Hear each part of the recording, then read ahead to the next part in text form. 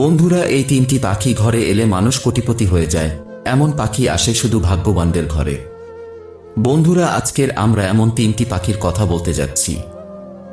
যদি এই পাখিরা আপনার ছাদে এসে আপনার দানা খায় বা জল পান করে, তাহলে আপনার সাথে এমন কিছু ঘটবে যা আপনি কল্পনাও করতে পারবেন না। বিশ্বাস করা হয় যে এই তিনটি পাখি শুধুমাত্র ভাগ্যবান ব্যক্তির বাড়িতে এসে দানা খায়। এই পাখি দেখলে তাড়িয়ে দেবেন না, বরং নিজেকে ভাগ্যবান মনে করবেন। এই পাখি আপনার জীবনে সুখ, শান্তি নিয়ে আসবে এবং সঙ্গে নিয়ে আসবেন সম্পদের দেবী লক্ষ্মীকে। শাস্ত্রে এই পাখি দেখার অর্থ সাক্ষাৎ ভগবান বিষ্ণুকে দেখা বলে মনে করা হয়। শাস্ত্র মতে, এই পাখিরা যখন রাজা দশরথের বাড়িতে এসেছিল, তখন তিনি নিজেই তাদের খাবার খাইয়েছিল। যদি এই পাখি আপনার বাড়িতে আসে, তবে আপনার বুঝতে হবে যে আপনার বাড়িতে প্রকৃত ভগবান বাস করতে চলেছেন। তাই চলুন জেনে নেওয়া যাক, কোনো তিনটি পাখি ঘরে আসা অত্যন্ত সুখ। বন্ধুরা, তবে তার আগে আপনিও যদি চান, দেবী লক্ষ্মীর আশীর্বাদ আপনার ওপর থাকুক, তাহলে ভিডিওটিতে লাইক দিন এবং কমেন্ট বক্সে জয় মহালক্ষ্মী লিখুন। এক, নীলকণ্ঠ পাখি। বন্ধুরা, শাস্ত্র অনুসারে বিশ্বাস করা হয় যে নীলকণ্ঠ পাখি ভগবান শিবের প্রতীক। নীলকণ্ঠ এমনই একটি পাখি, যা এসে বাড়ির ছাদে বসে এক ফোঁটা জল পান করলে মানুষের সব কষ্ট নিজে থেকেই শেষ হয়ে যায়। নীলকণ্ঠ পাখি এসে আপনার বাড়িতে বসলে তাকে কিছু জল ও শস্য দিন। সে যদি আপনার দেওয়া দানা খায়, তাহলে বুঝবেন আপনার ভাগ্য বৃদ্ধি পাবে। প্রথমত, এই পাখি খুব কম মানুষের ছাদে এসে বসে। যারা খুব ভাগ্যবান, সেই সব মানুষ যাদের ছাদে নীলকণ্ঠ এসে বসে।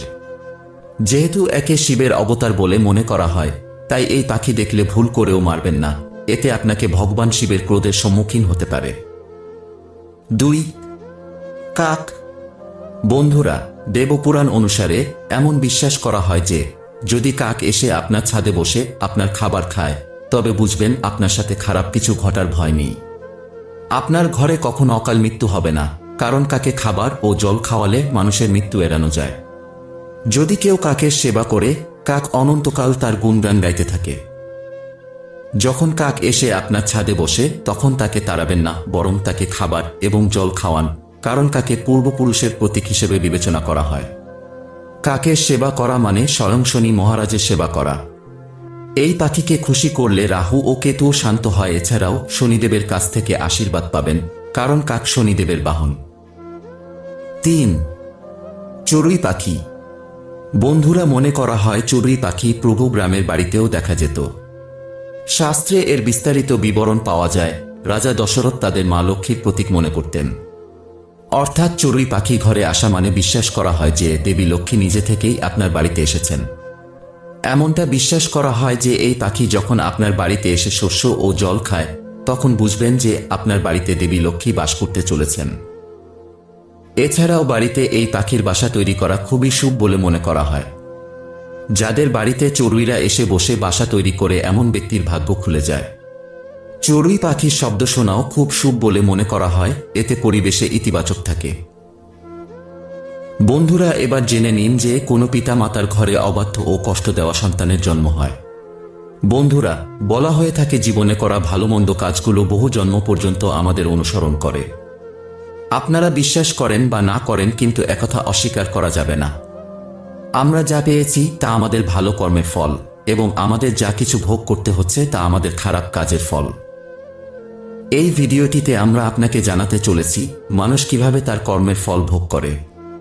এবং কার ঘরে এমন শিশু জন্মায় যে কষ্ট দেয় এবং বাবা মাকে দারিদ্র করে তুলে। হিন্দু ধর্মে পূর্বজন্ম ও কর্ম খুবই গুরুত্বপূর্ণ।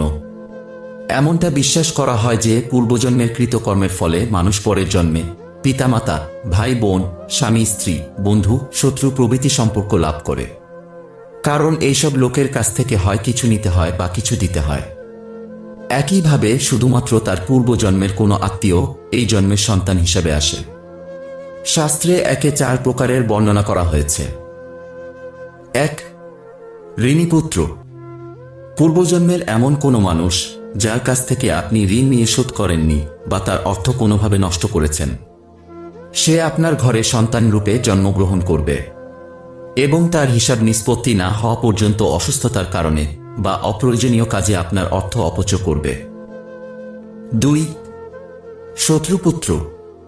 পূর্বজন্মের শত্রু আপনার কাছ থেকে প্রতিশোধ নেওয়ার জন্য সে সন্তানের রূপে আপনার বাড়িতে আসবে এবং সে যখন বড় হবে, তখন সে তার বাবা মায়ের সাথে মারামারি, ঝগড়া বা তাদের যে কোনোভাবে হয়রানি করতে থাকবে। সে সর্বদা কটু কথা বলে তাদের অপমান করবে এবং তাদের দুঃখ নিয়ে এসে সুখী হবে। তিন। উদাসীন পুত্র। এই ধরনের সন্তান না তো সে তার বাবা মায়ের সেবা করে বা তাদের কোনো সুখ দেয়। তাদের নিজেদের অবস্থাতেই মরতে ছেড়ে দেয়। বিয়ের পর সে তার বাবা মায়ের থেকে আলাদা হয়ে যায়। চার। বৃত্তপুত্র যদি পূর্বজন্মে আপনি কাউকে অনেক সেবা করে থাকেন, তবে সে তার ঋণ শোধ করতে পুত্ররূপে আপনার সেবা করতে আসে। আপনি যা বুনেছেন তাই কাটবেন। আপনি যদি আপনার পিতামাতার সেবা করেন, তবেই আপনার সন্তানরা বিদ্যা বয়সে আপনার সেবা করবে। অন্যথায় জল দেওয়ার জন্য কাছাকাছি কেউ থাকবে না। বন্ধুরা, আপনি ভাববেন না যে এই সমস্ত জিনিস শুধু মানুষের জন্য প্রযোজ্য। যে কোনো জীব ও এই চার প্রকারের আসতে পারে। যেমন, আপনি যদি নিঃস্বার্থভাবে কোনো গরুর সেবা করে থাকেন, তবে সে পুত্র বা কন্যা রূপে আসতে পারে। আপনি যদি স্বার্থপরভাবে গরু পালন করেন এবং দুধ দেওয়া বন্ধ করার পরে তাকে ঘর থেকে বের করে দেন। তবে সে ঋণীপুত্র বা কন্যা হিসেবে জন্মগ্রহণ করবে। আপনি যদি কোনো নিরপরাধ প্রাণীর উপর অত্যাচার করে থাকেন, তবে সে আপনার জীবনে শত্রু হয়ে আসবে। তাই আপনার জীবনে কখনোই কারও সাথে খারাপ করবেন না। কারণ প্রকৃতির নিয়ম হল, আপনি যাই করুন না কেন, তা আপনাকে এই জীবনে বা পরবর্তী জীবনে ফেরত দেবে। আপনি যদি কাউকে এক টাকা দান করে থাকেন তাহলে বুঝবেন যেভাবেই হোক আপনার অ্যাকাউন্টে একশো টাকা জমা পড়বে। আপনি যদি কারোর কাছ থেকে এক টাকা চিনিয়ে নিয়ে থাকেন, তাহলে বুঝবেন আপনার জমা থেকে একুশ টাকা যেভাবে হোক নষ্ট হবে। একটু ভেবে দেখুন তো, আপনি কি ধন সম্পদ টাকা নিয়ে এসেছেন? নাকি কতটা সাথে নিয়ে যাবেন? যারা চলে গেছে, তারা কত ধন সম্পদ নিয়ে গেছে? মৃত্যুর পর ব্যাংকে যে সোনা, রূপা বা ধন সম্পদ পড়ে থাকে, তা বৃথা অর্জিত হয়েছে বলে মনে করুন। সন্তান যদি ভালো ও যোগ্য হয়, তাহলে তার জন্য কিছু রেখে যাওয়ার দরকার নেই। সে নিজেই তার জীবিকা নির্বাহ করবে। আর যদি আপনার খারাপ এবং মূল্যহীন সন্তান থাকে, তবে আপনি তার জন্য যত টাকা রেখে যান না কেন, কিছুদিনের মধ্যে সে সবকিছু নষ্ট করে দেবে। বন্ধুরা, এবার জেনে নিন যে বাড়িতে টিকটিকি থাকলে কি প্রভাব পড়ে। টিকটিকিকে আমরা অনেকেই ভয় পাই। অনেকেই ভয় পেয়ে তাদের বাড়ি থেকে তাড়ানোর চেষ্টা করে, কিন্তু জানেন কি? বাড়িতে টিকটিকি থাকা নিয়ে কি বলে জ্যোতিষশাস্ত্র? ঘরে আরশোলা, টিকটিকি, মাকড়সার মতো প্রাণী থাকা খুবই সাধারণ ব্যাপার জ্যোতিষশাস্ত্র অনুযায়ী। এদের প্রত্যেকেরই কিছু না কিছু প্রভাব রয়েছে। আমাদের গার্হস্থ জীবনে অনেকেই মনে করেন, টিকটিকি আসলে গৃহস্থের জন্য শুভ কোনো কাজে বেরোনোর সময় টিকটিকি দেখাও শুভ জ্যোতিষশাস্ত্রের বিশ্বাস অনুযায়ী। টিকটিকি অর্থের ক্ষেত্রে শুভ বলে মনে করা হয়। টিকটিকি মা লক্ষ্মীর সাথে সম্পর্কিত। কিছু রাজ্যে নতুন বাড়ির জন্য বাস্তু পুজো করার সময় রূপোর টিকটিকি মূর্তি ব্যবহার করা হয়। কারণ টিকটিকি বাড়িতে সুখ ও সম্পদ বৃদ্ধি করে বলে বিশ্বাস করা হয়। বাড়িতে এক জায়গায় তিনটি টিকটিকি দেখা খুবই ভাগ্যের ব্যাপার। এর অর্থ আপনি ভালো খবর পেতে চলেছেন নতুন বাড়িতে ঢোকার সময় টিকটিকি দেখতে পেলে তা খুবই সুখ বলে মনে করা হয়। শুধু তাই নয়, এমনটা বিশ্বাস করা হয় যে টিকটিকি দেখলে আপনি আপনার পূর্বপুরুষদের আশীর্বাদ পাওয়া যায়। তো বন্ধুরা, ভিডিওটি আজ এই পর্যন্ত।